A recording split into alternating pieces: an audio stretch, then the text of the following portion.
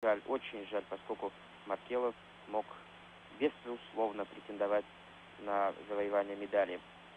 Николай Андрианов